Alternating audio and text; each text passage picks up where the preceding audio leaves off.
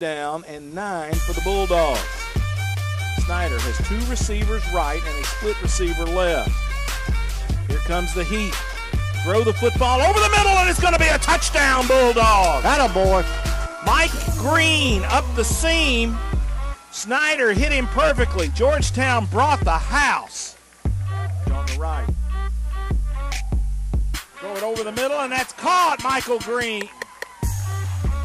Outstanding grab by the McGavock graduate, Michael Green.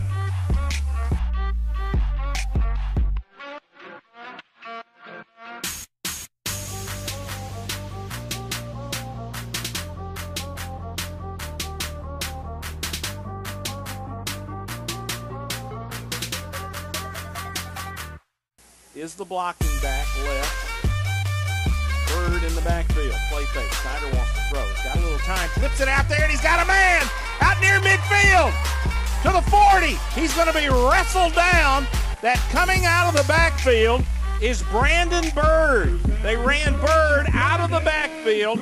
We not had these two guys that we had were playing two at one time. Completes it to Mallory on the hot. Mallory's going to take it into the end zone yard gain, first and 10 Bulldogs. Clock's going to run at 720. Oh. Get loose, oh. and he's going to the house.